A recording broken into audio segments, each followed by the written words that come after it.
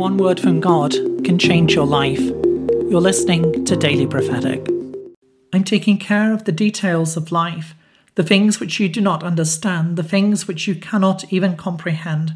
Trust in me that I am at work and that I'm bringing my heavenly order.